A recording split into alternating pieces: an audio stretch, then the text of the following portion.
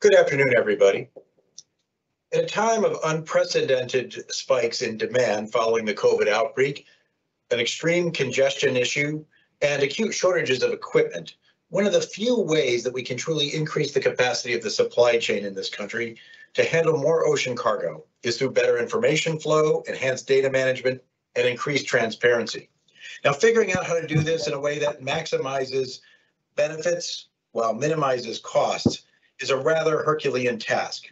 And that is why I am so grateful to my good friend, Commissioner Carl Bentzel, for volunteering to take a leading role in this project after I asked him to, and we had a, a great discussion about a month and a half ago.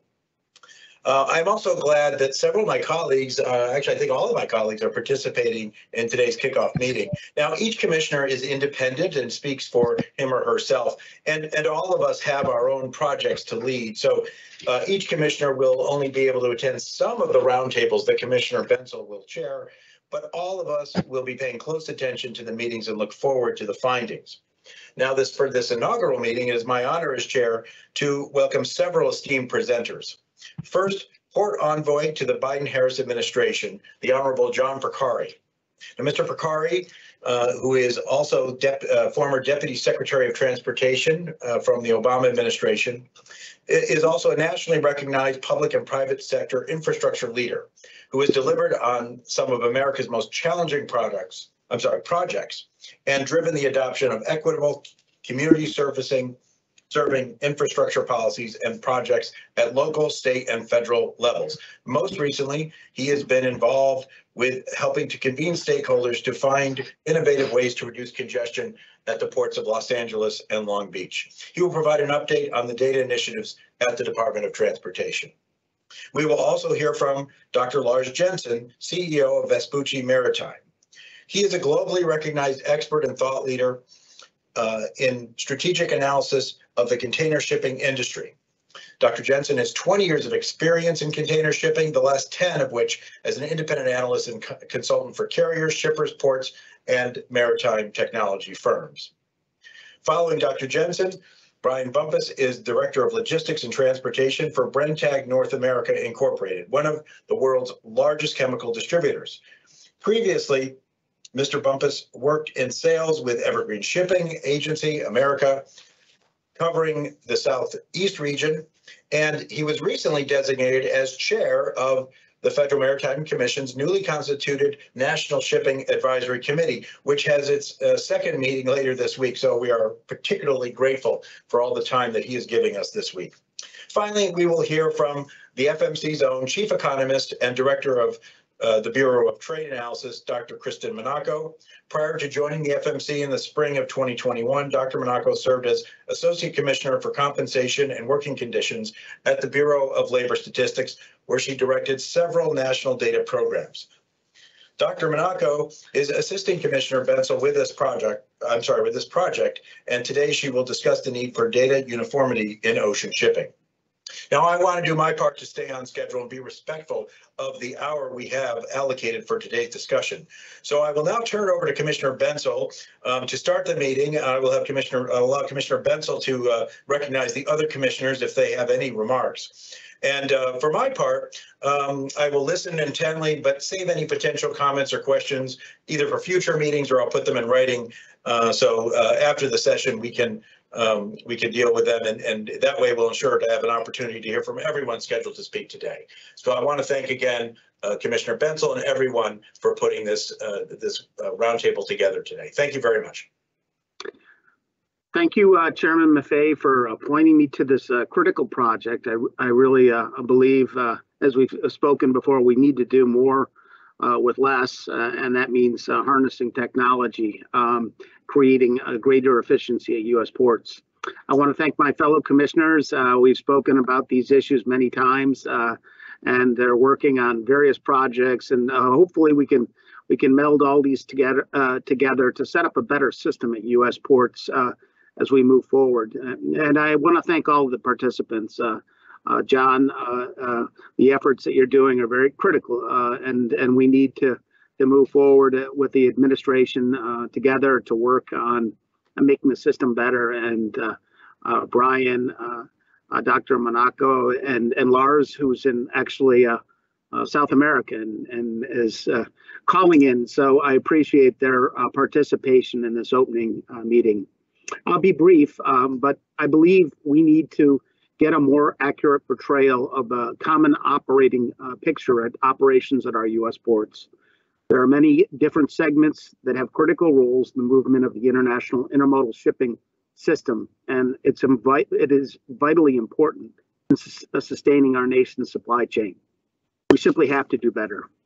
Our nation's economy will be impacted on whether we can create a better system for the movement of international cargo. And most of our major port gateways reside in large urban cities, where historically the port sustained the growth of the city. Now there is little room for growth. It is clear now that given constraints and growth at our ports, that we will need to do more to be efficient. We will need to do more with less. We will need to have to harness technology and information to create a more efficient system. Going forward, uh, my role is to listen to the industry, to experts, uh, and over the next uh, few months, I'll be working with facilitating this effort, working with our staff, my fellow commissioners, and the industry to uh, to gain a greater understanding of the current system of maritime information and data. I'll be working with stakeholders across the supply chain to identify data constraints that impede the flow of ocean uh, cargo and add to supply chain efficiencies. Um, speaking uh, yesterday to Commissioner Dye, we were talking about this issue, and she said, "Well, in the end, we we need information, but we need information that is usable and contributes to efficiency and uh, can make the system better." So we'll be looking at uh, how we can deliver uh, better information uh, to the shipping public. Why is this important? Uh, in many ports, we cannot build our way out of congestion. Failure to better avail the public of existing sources of information to facilitate operational efficiency will either cause costly tra transportation adjustments or, in some cases, failure to provide service. I think the public is starting to garner an awareness of the importance of our port and maritime shipping system uh, and and and that's uh, and the importance of that system to the fortunes of our nation. Importers rely on shipping for retail goods. U.S. manufacturers rely on just-in-time uh, uh, uh, shipping to manufacture good goods. Even food products uh, require shipping to produce additives and packaging necessary to sell their food. And exporters rely on supply chain for export sales it's truly remarkable when you look more at the system how interconnected it is in terms of uh, getting chemicals that uh, go as an additive for a particular product or automobile tires for an automobile that's manufactured in the United States. And if it's not working together, uh, it impacts the entire economy. What we do know is that as freight moves through our supply chain, information about freight is created but it's not uh, it's not often shared effectively. This is sometimes sometimes caused by lack of constant taxonomy and lexicon and or systems not speaking to each other.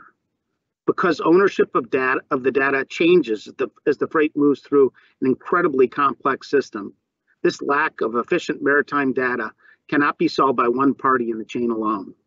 It will take cooperation and collaboration.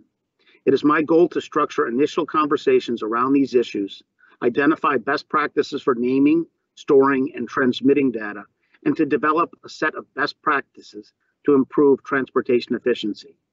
In the coming months, myself, the FMC staff, fellow commissioners will be engaging in the follow following steps to move this project forward. Step one, cataloging the status quo in maritime data, storage, and access across the, the transportation chain. Two, identifying key gaps in data definitions, classifications. Three, develop recommendations for common data standards and access to policies and protocols. This will uh, will culminate in the FMC Data Summit early this spring, and uh, in the in the in the meantime, starting next week, we will be hosting a series of public informational discussions and briefings with maritime and intermodal transportation stakeholders. These informal meetings will focus on different areas of the supply chain and listen to what key players in these areas are experiencing. I invite the public to share their their needs, their issues, their challenges, and uh, look forward to hearing from them in the future. Uh, but uh, public contribution is going to be critical in uh, coming up with, with what uh, we feel are best practices and moving forward. I continue to hear from many corners, uh, corners that the lack of information and data is creating pinch points in the supply chain system. It has pro previously provided enormous value to the American public and to Amer American exporters, amongst others. The purpose of these conversations is to reveal those pinch points publicly, and in doing, in doing so, encouraging the streamlining of essential data sharing. I appreciate uh, Chairman Maffei's support and, and, engaging in this uh, uh, critical issue. Look forward to working with the public, and again, would thank our presenters for uh, for their uh, time today and setting the frame uh, that we need to take the next steps forward to consider this issue. Um, I would like to recognize Commissioner Dye if she wants to present any comments at this time. Thank you. Thank you for inviting me, Commissioner Bentzel. Um, I'm very pleased that you're doing this. Um, since fact finding 27, when we organized the first FMC supply chain innovation teams, we've been talking about the importance of a national port information system to improve the performance of our international ocean supply chain and do what no other country has been able to do, which is to harmonize through information sharing the supply chain. As we had discussed, the, the, the impediments today are not technological. We, we in, in the last few years, since fact finding 27, we've made enormous technological changes and advances. But the one thing that I had discussed with you and that I emphasize is that from talking to some of the best technological supply chain companies in the world, we need to tell people what they need to know when they need to know it. A lot of companies make the make the mistake of throwing out information to their customers that they developed for their own company's needs. And it doesn't do any good. But if you tell people what they need to know when they need to know it, even if you have to change your own operations to tell your customers something, the system will harmonize, will stop bumping into each other, and will fly right over these problems. I have I have some information from from fact finding 27 that I would be delighted to share with you. Thank you for including me. Commissioner Dye, thanks. So we we spoke again about this uh, yesterday. Uh, uh, this was a recommendation that goes back, uh, I believe, to the Hanjin uh, bankruptcy and the disruption caused by the before that. So uh, so it's not something that has uh, been dreamed up in the aftermath of uh, the pandemic. It's something that we've been looking at for a long time. That's right. Uh, Commissioner Khouri, uh, I know you're off site. Uh, do you want to add a comment or suggestion? Well, thank you for pulling all this together, Commissioner, and look forward to hearing what everyone has to say and moving this issue forward. I agree that the data part of it is, uh, is as Commissioner said, this is a critical part of um, our effort. So I don't want to eat up any time on the on the agenda. So look forward to it. Thanks. Take care.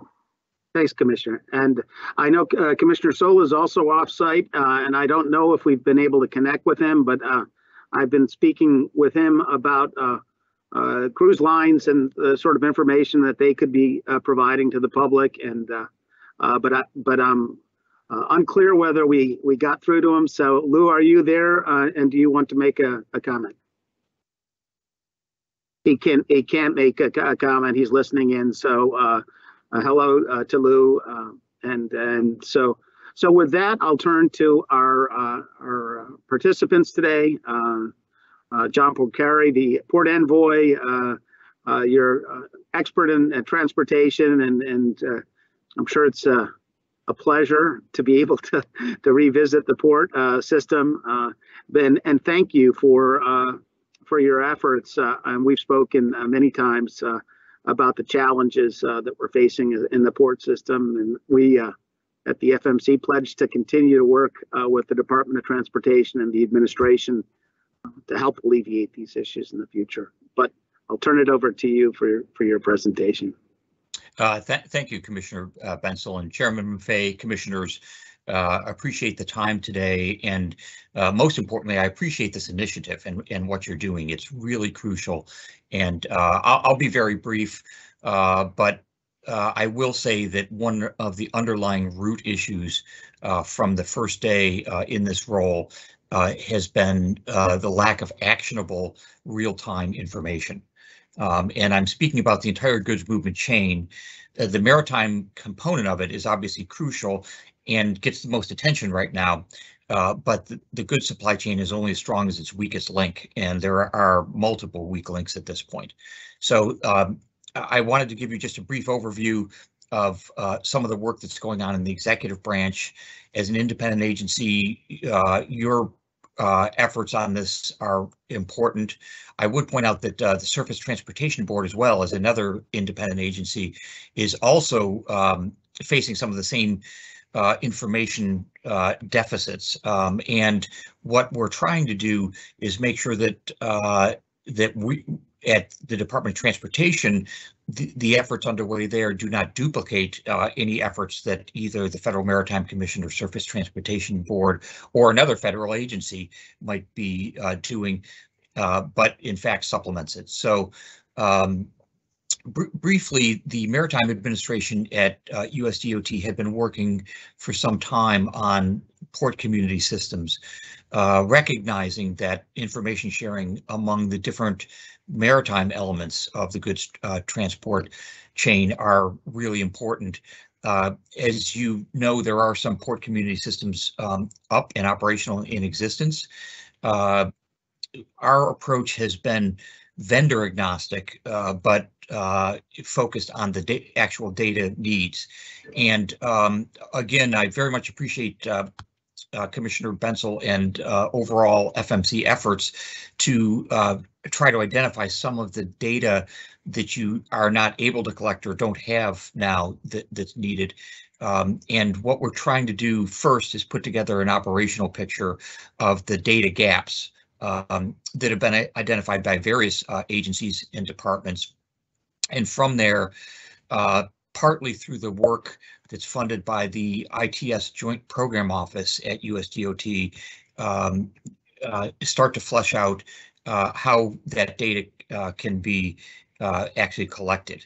Um, I, I, think that that uh, if you contrast uh, the surface transportation goods movement chain and its maritime component with aviation, with the airline industry, for example, there's a very different uh, set of circumstances in terms of collection of data where uh, airlines compete fiercely, but at the same time, there's there's transparent data that's available on a daily basis that's actionable and usable, and that's really the goal here. Uh, uh as you know, in the in the goods movement chain, and in particular in some of the maritime components, there's not a long tradition of sharing data, um, and it's it has been very stovepiped uh, in the past. That's one of the first uh, things that we need to get through.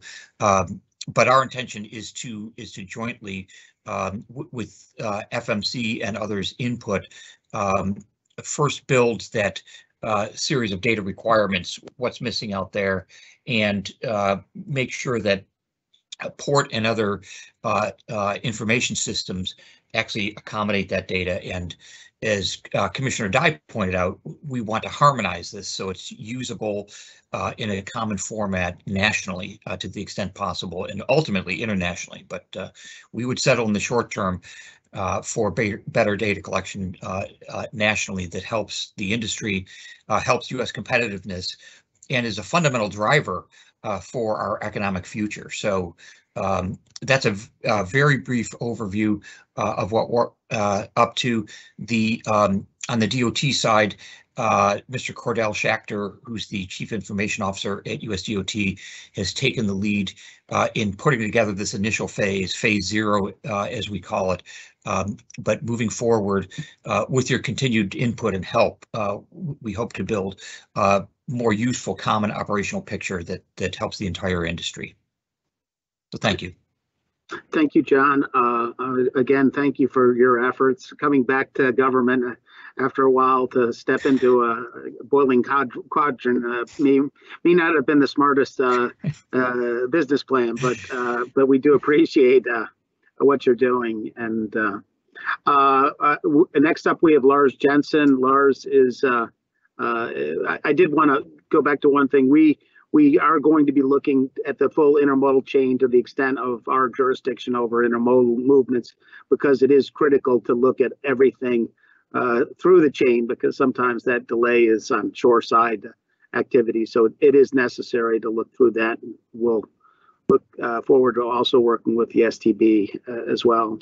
Uh, but next up, we have Lars. Lars is in uh, South America, and so he's he's told us that he's limited on Skype time availability. He's we've been unable to connect visually, but he's a true expert. I've had the opportunity to I speak at uh, events together with him, and uh, he'll give us a picture of some of the macro challenges facing uh, the industry and and uh, and the role for technology and and uh, and moving forward.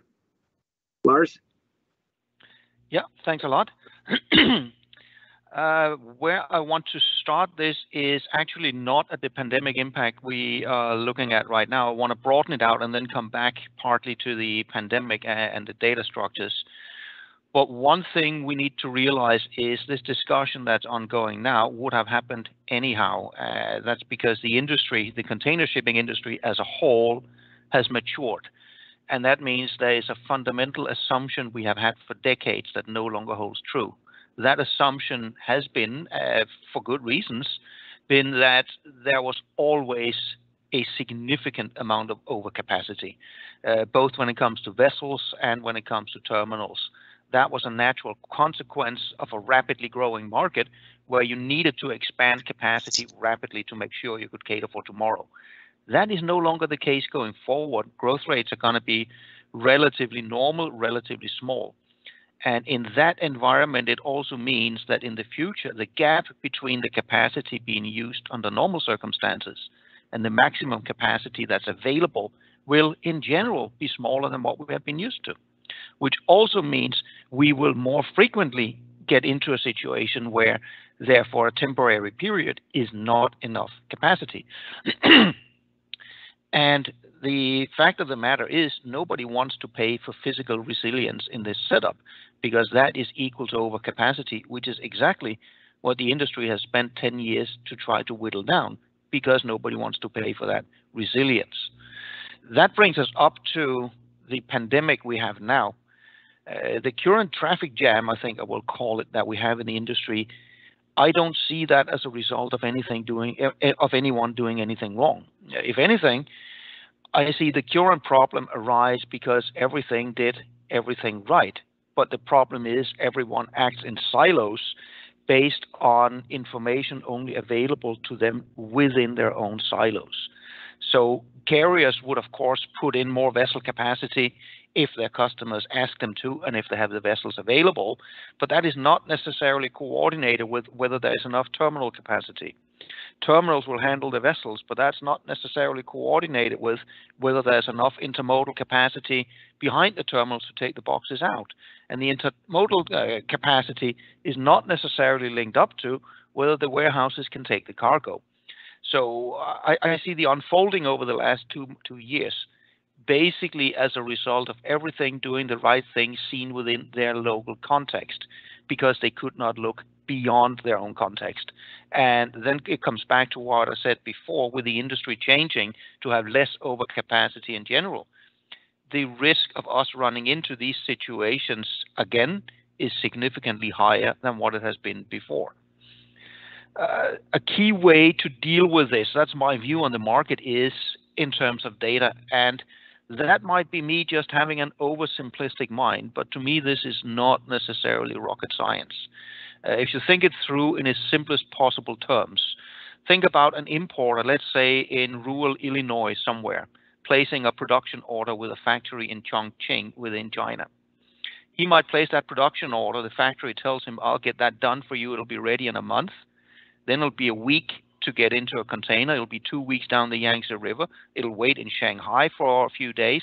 Then it'll finally get sailed over to the US West Coast, wait on a rail. It'll get railed down to Chicago and then on a truck. And finally, something like three to four months after the production order was placed, the cargo will arrive if all goes well. But that also tells us that if we had access to that information, to that production order the moment it was given, we could predict three, four months out into the future what would the draw on capacity be through the entire chain. Now, of course, that is not really relevant if we look at that one individual, but if we had that information for all potential production orders, we could also, with relatively high certainty, predict months in advance whether there would suddenly be a choke point at any given point in the supply chain. And furthermore, this would be actionable information because if this tells us, hang on a second, with all the production orders placed now, we will run out of capacity, for example, to take containers out of LALB in two and a half months, that information could be fed backwards through the chain and say, great, if you want to move your cargo, it might be wise to move it a week earlier, a week later, move it an alternate routing. It will allow us to take action to prevent some of these bottlenecks from arising in the first place, smooth out the supply chain flows. Uh, that will be the way to increase not just resilience of the system, but also increase the utilization of the hard assets. Uh, and again, it requires the coordination, coordination of data all the way through the system, not in the individual silos. Now, there are a couple of challenges in getting down this path, uh, probably too many to list. But there's a few of them I would like to highlight specifically. In order for something like this to gradually appear, one thing that is absolutely critical is that the data are standardized. It requires that the reporting of this information, no matter whether it comes from carriers or terminals or shippers or truckers or forwarders, it all has the same standardized format. There is a significant lack of that in the industry. On the container shipping side specifically, uh, DCSA is the front runner and really doing good work in trying to promote that. More is needed. And on the terminal side, as far as I understand, there is a grouping T4 looking partly at the same thing. But we need that standardization not only to be developed for all the different parts of the supply chain, we also need the actors to actually implement these. And the second thing is, in order of implementing it, the other challenge we are faced with in the container shipping supply chain is a very high variation in technological maturity, let's call it that, where there are clearly some that are quite advanced and there are clearly others that absolutely are not. In order for this to work, we need to make sure that everybody gets up to a much higher level of technological maturity. And the last major stumbling block is it is endemic through the industry that you do not share data. There is an inherent aversion to sharing data outside of individual companies.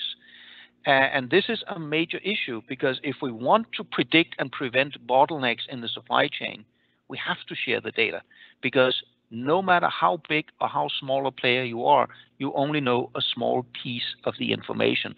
Sure, I might know how many containers I am moving in to a critical choke point uh, a month from now, but I have no idea how much the other guys are moving in. And if we all increase by 10% at the same time, we're going to run into trouble. Uh, and that leads me to the last uh, part I want to highlight here, and this is more a thought than anything else because uh, if we think it through in terms of how can you potentially get this information, let's start with the vessels. The vessels we already have information on. We have AIS trackers. We've had them for years. Everybody can get that information. And it has led to applications on the technology side being developed in recent years where AI programs will simply look at where the container vessels are and they will make a prediction as to when they will arrive in port. And in some cases, these predictions are even more accurate than what you would get from the container carriers themselves. This prediction, that's actionable intelligence. It allows, in this case, shippers on the receiving side to better plan their logistics, again, optimizing the use of assets. The beauty with the AIS is the competition is who can make best use of this data, not the access to the data. As long as you buy the raw data from one of the satellite providers, anybody can know where the vessels are. Uh, and this is where my overall thought on where the industry eventually is going to end up is this could be extended further to the containers themselves. This is still very, very early days, and uh, trackers, especially on dry containers, are at a very rudimentary state. We don't have all that many yet. But if you think it through purely logically, if you had trackers on containers to the same degree that you have on vessels, so you know where is a box and where is it supposed to go, you could do exactly the same thing as you do for the vessels. You would be able to build AI programs to predict all the way down the supply chain where might we have problems coming? What could we do to avoid these problems? How could we redirect it? This again would be a matter of not competing on having the data, but on actually using the data. And of course, in this, access to the data is absolutely critical. Uh, the, the, final comment I would have on this is for anything like this uh, to work, it doesn't matter how the data is obtained uh, and, and, how it is shared, but this essentially has to be global because the supply chain is inherently global. What happens in one part of the world will have significant ripple effects all the way through the, uh, the, the, the, whole supply chain. Having a system or set up at a national level can alleviate some of the problems, but creating true resilience through the use of data would actually require that this is available at a global scale. And again, that's why I draw on the parallel with, for example, the uh, AIS. So to, to wrap this up, the way I see it is there is a significant role for technology to play in creating resilience. We can use the assets, be that ships or ports or trucks or rail, they can be used a lot better if we are able to predict what is coming. Conceptually, we already have the information we need. The problem is the information is non-standardized, it's not shared, and it's not accessible. So thanks a lot for inviting me here. I don't know whether I'm supposed to take uh, questions now or what the process is. Uh, Lars, if we can keep you on for a little bit, I don't think I think we're going to try to uh, confine ourselves to. Uh, but we, if you if you can stay on and you and you're not dropped off because of telecommunications, we'd appreciate it. Uh, but we'll try not I'll to. I'll stay on as long as I can. Yep. Okay. Okay. Appreciate it. Uh, uh, thank you. Uh, um, and uh, next we have uh, Brian Bumpus, who's the head of our uh, Shippers Advisory uh, Committee, and I, I, think this is a good opportunity for uh, you in that, that capacity to uh, to make your first public statement at, at a, a, meeting like this. So look forward to your comments. Thank you, Carl, and um, thank you uh, to uh, Chairman Maffei and the other commissioners. Uh, uh yeah, I, I, do serve on the NA, uh, NSAC, um, but today I'm going to speak uh, primarily as a shipper. So, you know, the views that I'll communicate today don't necessarily reflect those of the committee or of the FMC, certainly, or any government agency. Um, that being said, if it's okay, I'd like to actually share some content that, you know, I, I pre-prepared here. Give me just Go a ahead. second to. Yeah. All right. Um, so I'm going to try to keep this brief. Um, generally, I talk pretty fast, so we should be able to get through this uh, relatively quickly. But I wanted to highlight just some very simple uh, real-time data gaps that plague shippers, both on the import and the export side. Um, you know, certainly some of these are more noticeable now um, on the heels of COVID prior to you know 2020, 2021. Um, not having real-time visibility of where carrier capacity outlooks are, or what we call load factors on the import side and the export side, makes proactive planning for shippers very difficult. Um, if we have uh, a group of carriers that we have contracts with, and we have a primary, secondary, tertiary, so on and so forth, if a primary carrier constraint makes it a lot easier for us ahead of time. By ahead of time, we, um, that allows us to cascade down our routing guide consequentially and keep our supply chain on schedule. Similarly, with equipment availability, I mean, certainly during the pandemic, we noticed that there were equipment bottlenecks in many places that were important ports of load, whether in the U.S. or certainly abroad, primarily in North and Central China. Um, you know, lack of visibility to equipment availability also plagued our ability to plan and keep our supply chains efficient uh, and cost effective. Um, there seems to be quite a few cargo um, status disagreements between tracking data uh, provided by carriers and also those provided by terminals. Unfortunately, as we progress specifically, we've seen the quality of data from carriers traffically degraded over time. Um, we'll see uh, cargo notifications that say that the uh, the vessel has berth when in fact it's still anchored in Long Beach Harbor per data from Cargo Insights and, and other platforms. Um, when carriers say that the cargo has been discharged, the terminal may say, yes, we have it, but it's not released. Um, this certainly leads to the fifth bullet point here where we have a last three-day disagreement. Where the carrier says the cargo has been discharged, they, they start to demurrage free time clock, but the cargo isn't available for importers to go and actually retrieve. So we're almost uh, predetermined to to be uh, paying demurrage on those. Um, gate congestion at the terminal level is something that we all also kind of struggled to gain the articles in the JOC and other trade publications that have kind of a, a macro description of congestion, whether that be at the Los Angeles macro ter terminal complex or in Savannah or New York necessarily give the full picture of the problem in Florida with the three terminals they have at Port of Miami system. Earliest return date information um, for the export side uh, is in many cases frustrating as earliest return dates can change last minute with no notification prior, uh, even when cargo is already in transit on the truck. Earliest return dates will shift, they'll get delayed a couple of days, which uh, certainly adds new wrinkles that were unforeseen to uh, individual supply chains for shippers, and also cost exposure, whether that be a truck order not used, uh, trucker storage, et cetera, et cetera. Um, vessel schedule delays and updates are generally communicated at the 11th hour. Um, I don't know any shipper of any size or consequence that is agile enough to move their supply chain within a matter of hours. Um, and certainly if containers have already been loaded and a vessel is delayed or it's skipping a port of load, we can't just take that cargo out of a container, move it on another carrier to keep the supply chain on schedule. Um, there's been you know, re requests through the shipper industry to have uh, port productivity or performance metrics that are released in platform side are better to use, irrespective of cost. Um, and certainly not having visibility to changing and dynamic spot rates uh, where you know capacity constraints push cargo off of service contracts and into the spot market makes planning difficult uh, for shippers as well uh, as we create quotes uh, to Lars point three four months uh, prior to actually taking delivery and, and, closing commerce on the import side.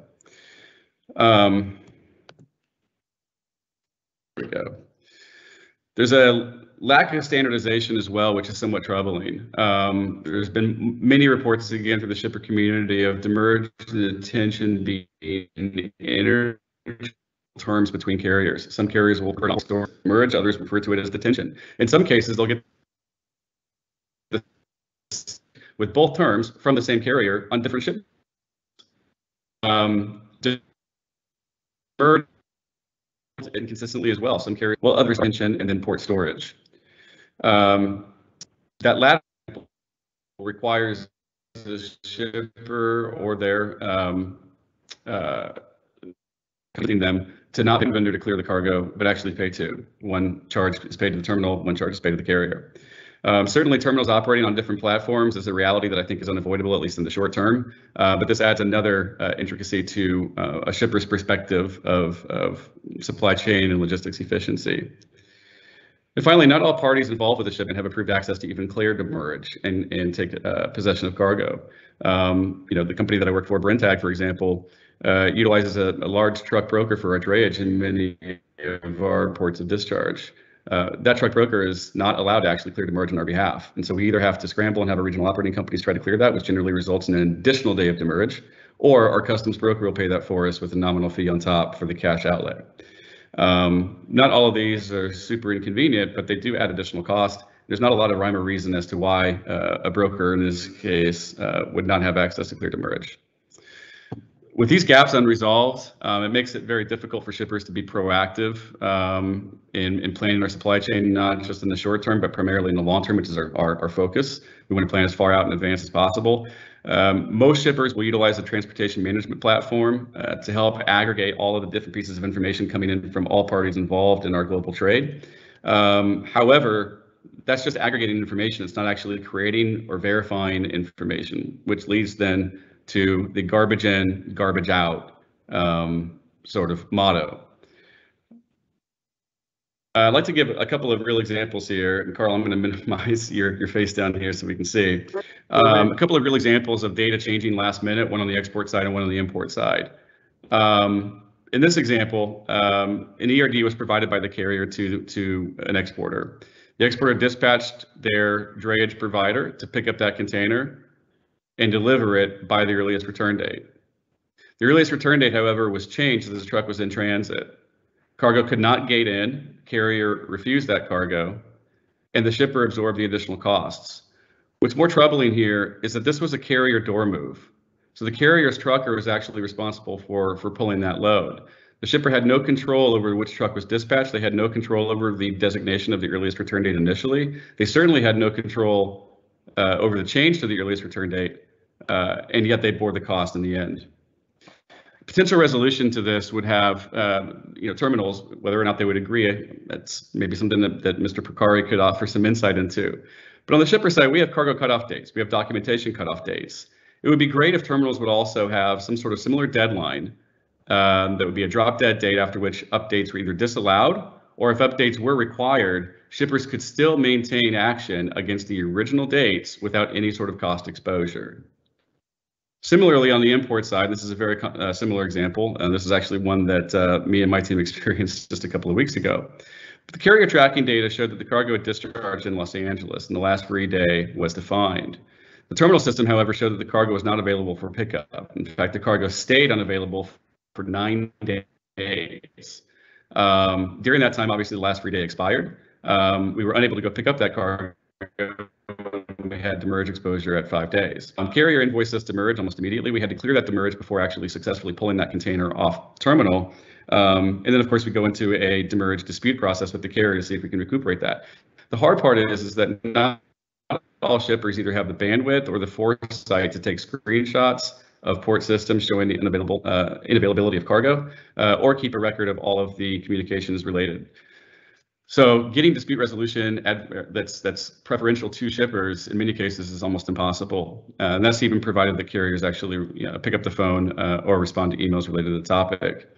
A verification protocol uh, between the carrier and the terminal would be a great help. Um, TradeLens, uh, the blockchain platform that was developed uh, jointly by um, by Maersk and by IBM, uh, and I think uh, is currently linked with uh, Los Angeles Port Optimizer platform is an example of a great blockchain solution that could offer uh, some help in this regard. However, not all parties have access to TradeLens. For example, customs brokers uh, don't have a platform that they could actually purchase from TradeLens. Uh, TradeLens is also a for-profit product, which puts the burden again of cost onto the shipper to resolve information and dates by unaffiliated parties to them. So some thoughts on what we need in the future. Certainly, standardization uh, would be a, a, great first step. We need to standardize uh, and harmonize shipping vocabulary. Demurrage, detention, per diem, these terms need to be standard uh, across all parties involved in, in logistics transactions. Uh, cutoff dates and earliest return dates and last free days uh, for import or exports and imports respectively between alliance partners and terminals would be another great help. Um, in some cases, we'll have you know three carriers uh, sharing a vessel on an alliance, but they'll all have different cutoff dates for, either the cargo uh, or uh, documentation, which doesn't really make sense as the plane is, or the, in this case, I'm sorry, the ship is leaving at the same time. I say plane because we don't have the same issue with airlines. You know, if we have a United flight out of Houston, but Turkish Airlines is, uh, has some seats on there and can issue tickets against that flight, all the data is the same. The boarding time is the same, the takeoff time is the same, the tracking information of the plane and flight is the same. That doesn't necessarily translate to the ocean world. Similarly, with uh, cargo on in this example of, uh, of, of an alliance vessel with three carriers on that vessel, The tracking data uh, for those three carriers won't jive. In many cases, uh, Brenntag has cargo with you know all three carriers in the Ocean Alliance on the same vessel, um, and yet the the arrival information uh, is has disparagement between all three parties on the tracking systems online, which really makes no sense uh, whatsoever. Um, last three-day agreement between carriers and terminals. Uh, this uh, bullet point refers to uh, my prior example of uh, should demurrage should the demurrage clock start while the cargo is still unavailable for pickup by terminal systems. Um, standardizing terminal platforms is a great uh, idea as well, but like I mentioned before, I don't think that this is really feasible um, in the short, mid, or maybe even long term. And then chassis usage. Um, in just a moment, we'll talk about box rules, but um, you know, having standardized chassis uh, programs, which may or may not require the elimination of box rules, would be a great help, not just to shippers, uh, but I think also to the port infrastructure. And I know that a lot of the delays currently in Los Angeles and Long Beach are consequential to not having enough chassis in the market. There actually are enough chassis. They just used interchangeably between carriers, consequential to box uh, rules. Um, here not eating those last minute on shippers. Having uh, requirements for data integrity and timeliness. Um, you know, shippers should not be told, uh, you know, four days later that the vessel uh, has been delayed. If the vessel uh, is, or if the, I'm sorry, if the carrier says the cargo has arrived, and four days later we get another update that says the cargo has not arrived, uh, this quite candidly is, is just not acceptable. Gate appointments, uh, and I, I, put in parentheses here, flex with congestion. Um, when there is congestion at the gates at, at ports, what we know, often see is truckers sitting in line for three, four, five, sometimes more hours. Um, even if they get to the port early, uh, they may still get to the actual gate 15, 20 minutes after the fact or after their appointment. Um, you know, for, for, for Brenntag, we've seen a number of cases where a trucker's been turned away for being 10 minutes late to the gate when they've sat in line for six or seven hours prior. Um, not all shippers have contacts with the ports that we can just, you know, call and, and get a, an, an ad hoc real-time resolution to delays like this. And finally, empty return access. Um, you know, this is a, a little bit of a more difficult problem to solve because obviously shippers are, are, are, conscious of uh, the port and terminal's real estate constraints. There's too many full containers on the terminal. It makes it difficult to return empties. Um, you know, however, we need to have some sort of guideline uh, or map that's a little bit more structured than it currently is to get an idea of when we might be able to return empties, which will free up chassis um, and get our supply chains back on schedule if we have limited access to drayage capacity. Uh, from a technology standpoint in the future, um, you know, shippers would love to see, uh, you know, more uh, uh, adoption of blockchain platforms provided that there is uh, equivalent access um, to all parties. Two-way API feeds linking uh, shippers, TMS, warehouse management, or ERP platforms of carriers and terminals is um, a little bit reflective of, of one of something that Lars said a moment ago, which I, I fully agree with. Uh, visibility of import orders, for example, at the time those orders are placed with overseas suppliers at the macro level, would dramatically help all parties involved. It would help ports plan effectively for incoming cargo. It would help carriers manage both equipment uh, and capacity. And more importantly, it would help carriers proactively act as a partner and communicate probable delays to shippers well in advance to say, hey, you know, based on what we've already seen being booked by our uh, or being uh, ordered from our overseas suppliers by our contract clients, this schedule is problematic. We're probably not going to have equipment. We're probably not, not going to have space for this. That will allow shippers like ourselves to cascade again down the routing guide proactively, weeks, sometimes months in, advance, update our delivered cost of goods sold accordingly, um, and, and stay solvent. We're all partners and we need to ensure that all parties involved are, are profitable, successful, and efficient. I mean, shippers will complain about spiking freight rates this year. And, and yes, it is a, a, a problem, certainly. Um, it's not an easy thing to, to pay $20,000 for, for ocean freight. That being said, if this is what's required for carriers to stay profitable and run services with adequate capacity, not just for this year, but I'm thinking long term, three years, five years, 10 years, then so be it. Um, but uh, we all need to be equally invested in that. So if shippers are invested in carriers' profitability, then that needs to be a two-way street as well. Finally, visibility of carrier constraints. Again, um, that's referring to capacity uh, or equipment constraints, transshipment delays, et cetera, et cetera. Would be helpful um, in a technology platform, excuse me, platform to allow shippers to, to again, um, plan proactively. And finally, there's some questions that we should probably review at some point. Where is the breakdown between carrier tracking data and reality?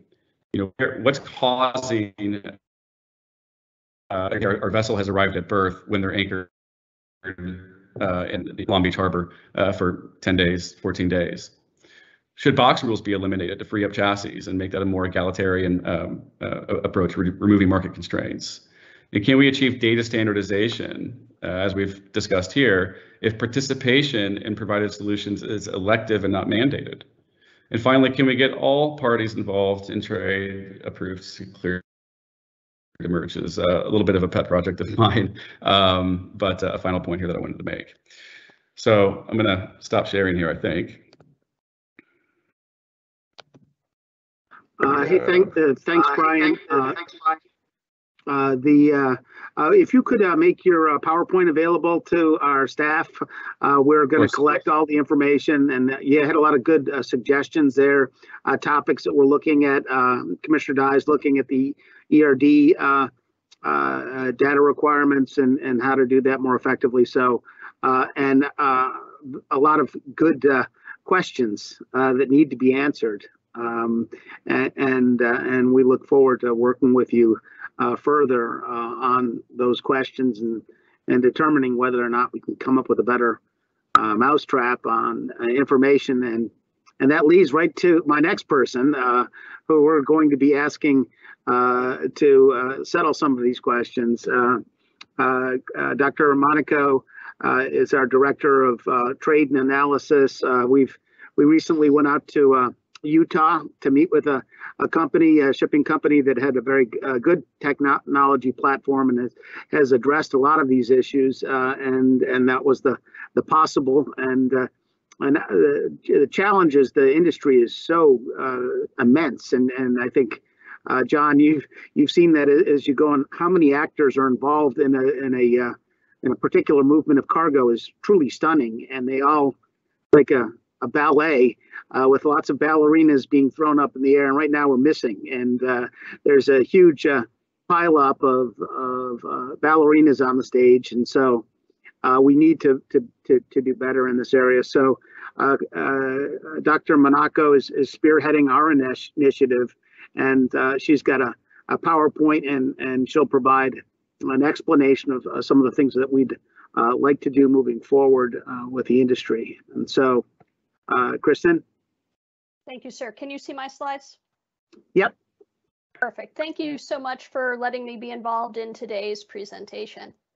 So as was mentioned in my bio, prior to coming to FMC, I worked for a federal statistical agency. So I'm really coming at this project from the perspective of someone who thinks about the success that data-oriented agencies have had in efficient data structures and data sharing.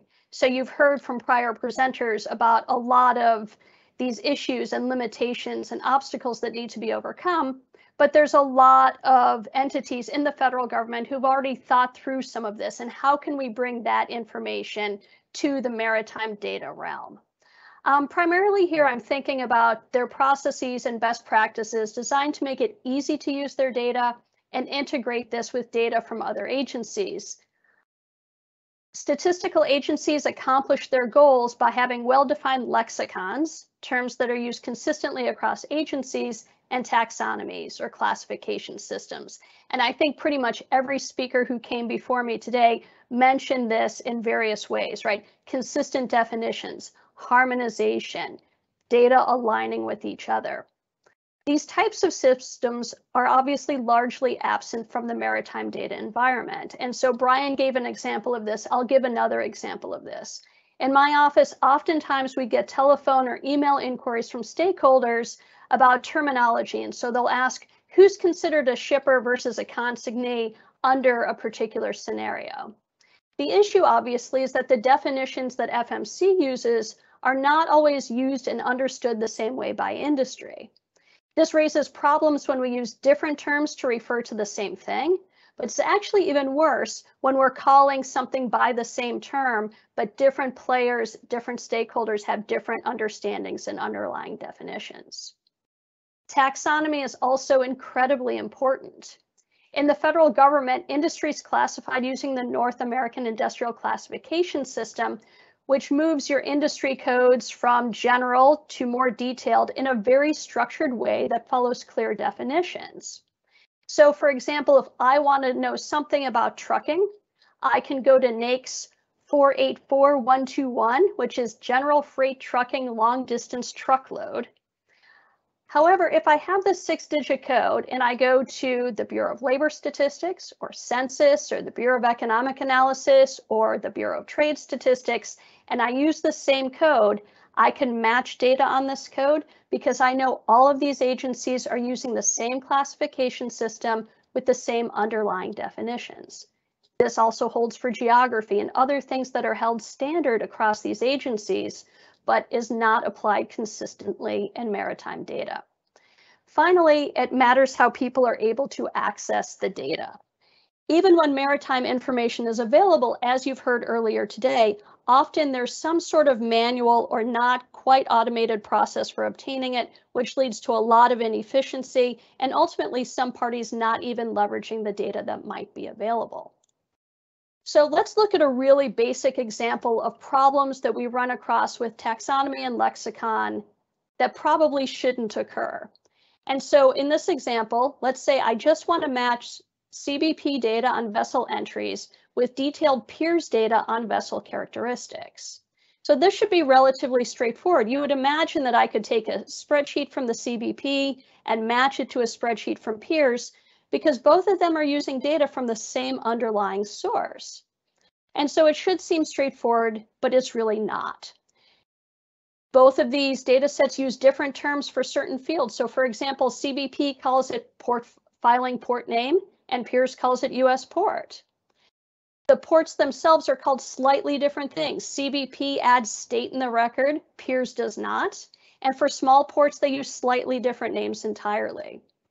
If I want to match on a vessel, in this case, I'm looking at a vessel named Yogi. I can see that directly in Piers, but there's other text in that field in the CBP record, so I can't just directly match them. And while they use the same two-digit code for foreign country, happily, they call them different things, right? In CBP, it's called last foreign country, and Piers has a code associated with it. So all of these issues are surmountable, right? I can figure out how to work through this example and fix it.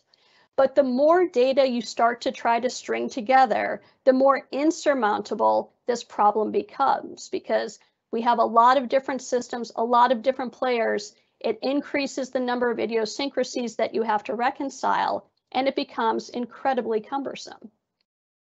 So let's turn to data transmission, and Brian touched on this really nicely as well. I'm going to again start with an example from the federal government. So on Friday, last Friday, the employment situation was released by BLS, right? This is this monthly report that has information on unemployment and um, payroll numbers. And I want to take these data and compile a report for the FMC. And so to do this, I can use the BLS data tools, and you see those sort of laid out at the top of the slide. The least efficient thing would be for me to say, go to the BLS press release, look through the PDF, find the table I want, take the number, transcribe it, put it in an Excel file, and use it.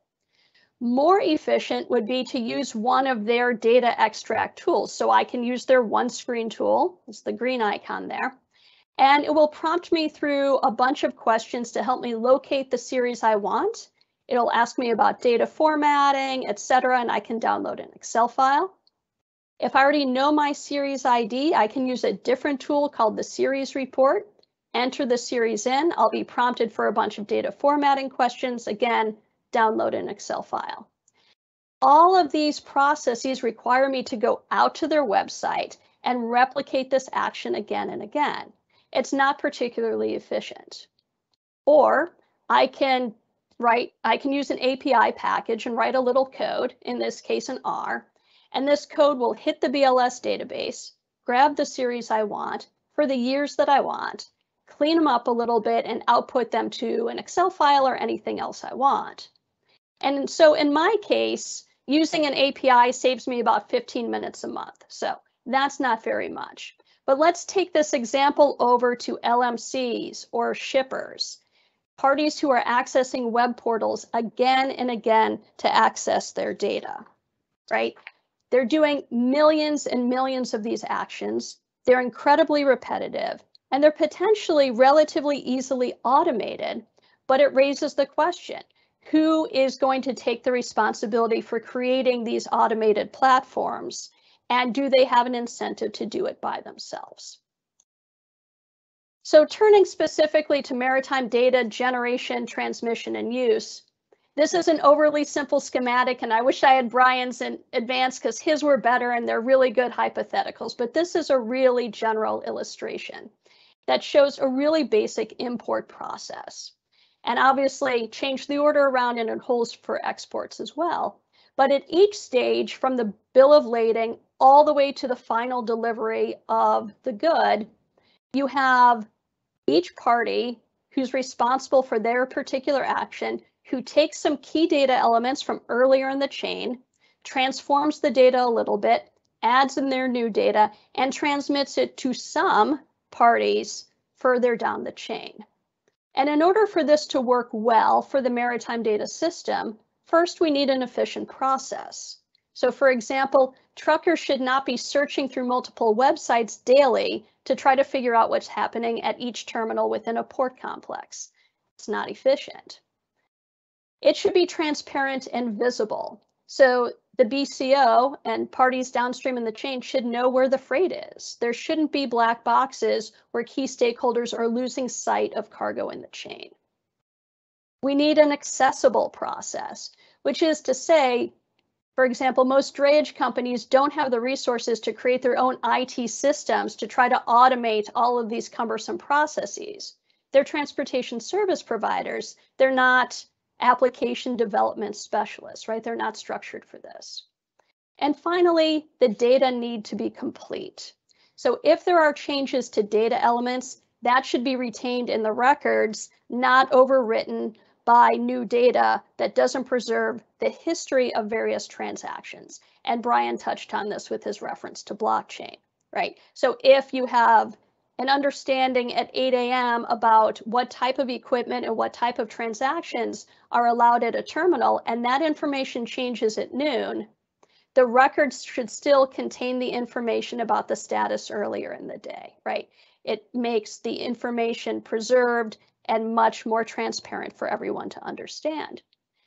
And we shouldn't need to patch together all these different parts from many different data sources records should be portable. And I think this was touched upon by Lars and Brian as well.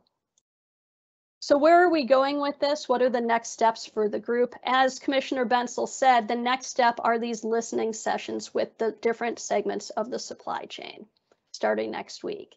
And the types of information we really want to understand are what data are being used that are critical to operations but importantly, what are the data gaps, right? What do you have? What do you need? How is data transmitted in practice? And how could it be transmitted to better make use of it? And what obstacles generally exist in accessing data? We'll have follow-up meetings to ensure complete understanding. And as Commissioner Bentzel mentioned, there will be a data summit in the spring to present initial findings, including recommendations and identified best practices. Thank you.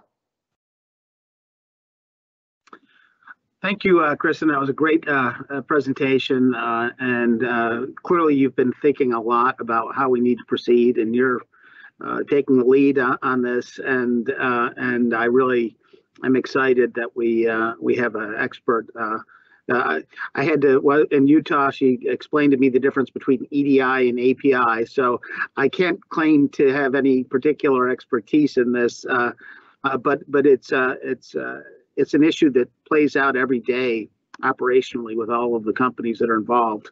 And so if if we don't do anything uh, to come to a better system of harmonization in this area, we're going to be in trouble in the future because uh, uh, Lars uh, was unable he had to drop off because of requirements, but I was at a presentation that he made, and he was indicating um, that the world intermodal transportation uh, system uh, transported 1% more cargo uh, this year than last year, which isn't a big increase. However, in the United States, uh, our staff reported uh, just uh, to the commissioners just recently that the ports of LA and Long Beach, uh, and since the pandemic, have uh, registered increases of 26% on LA and 21.5% in, in Long Beach over this time. And uh, the estimate that Lars had was that as a result of congestion that we uh, to the entire world's uh, uh, uh fleet is uh, we've lost approximately over 13% of the total capacity to move cargo. So you extrapolate what that means to the United States. you're looking at a nation that, that could have uh, lost 20% uh, of their capacity because of congestion related uh, delays and and is suffering increases suffering it's good that we're having increases of cargo it's good for business but but we're we're dealing with a, a combination of increases of cargo uh, and and congestion, and, and that's the challenge that, that we're facing. Um, but uh, but I did want to say we have a, a, website that we're making available maritime data at fmc.gov. Uh, so uh, that's where uh, you can send communications directly uh, to, to the FMC. And I, I, don't really have any questions myself, but I want to recognize my colleagues uh, uh, who are working on, on various elements that we talked about today as well. so I think Commissioner Dye, you're you're up first, and if you had any questions of the uh, panelists, uh, uh, go ahead. Thank you. I, I don't have questions, um, but I, I, appreciate all of the comments, and they're all familiar to us. Um, uh, Brian, uh, your, um, um, I think we need more supply chain mapping, honestly. Um, so uh, often our shippers turn right to go left and uh, information would um, would uh, well let me say if, if i say information again you can stop me and correct me knowledge if you have particular pieces of things that you have to know then um, all, shippers will find it easier to do business and carriers will profit as well i'm convinced so uh, together, um, I, I think this is extremely worthwhile and I appreciate it. And I'll be calling you up, Brian. yes, ma'am. And to Thank your you. point, uh, I like your analogy of shippers turning left to, to go right. In some cases, it's not a conscious decision that we're making. Um, it's a reaction to something that's been put in front of us. And, you know, I don't want to throw any of the other parties involved in logistics under the bus. You know, I think carriers ports and terminals, shippers, drayage providers, customs brokers, we're also you know, suffering from the same disease of reactiveness uh, because the data is so fragmented and we're all developing certain pieces of data, okay. the data, uh, the macro data overall, but it's not being shared in a cohesive manner. So carriers are being just as reactive in, you know, in, in, in yes. their world as we are. so true. That is so true. Thank you. Thank you. Thank you, Commissioner Bentzel. Uh, does uh, Commissioner Khouri, uh, anything you want to add? Mike, uh, uh, I think he said he'd be on, on mute. So uh, if, if he does, well, he'll get back to us. And Commissioner Sola, I think, is uh, is probably also in that position, but uh, I'll give you a call out and if, if you want to uh, say something. Okay. Okay. Uh, and I think, Dan, you're okay? I think it's mute. Uh, yeah, yeah, yes. Uh, I, I think this set the right, exactly the right tone for the, for the first meeting. Um, and, you know, very much appreciate, uh, the people who came and spoke and, and in the case of, uh, uh, Mr. Picari, um, uh, um, and, uh, Mr. uh, Bumpus just staying for the whole, whole thing. And of course, Dr. Monaco, but she doesn't have a choice. So, so Well, thank you. uh, yeah, we, we still appreciate it. Uh, so, uh, uh, but, uh, John, uh, we'll, uh, we'll be back in touch. We'll, we'll coordinate with you. Uh, uh, the chairman asked that we, uh, uh, stay in close comment, uh, uh, contact going forward, uh, and, to, uh, coordinate actions and, uh, and looking for it. Mike, did you, uh, want to add anything? Uh, I see No, I on just there. I just wanted to uh, thank John uh, Picari for taking time and uh, thank every, all the participants. And uh, this is really a very, very worthwhile uh, effort and hopefully we'll, uh, we'll get to some good fruit that Commissioner Dive nodding her head. So thanks all, thanks, and this is going to be first of many. Thanks again. I think, Thank I think all. that's, that, that about sums it up. We appreciate, uh, all of the presenters, uh, and, uh, and, uh, we'll be, uh, moving forward, uh, and look forward to the next meeting. Great. Thank you. Take care. Good day. Well, Thank you all. bye.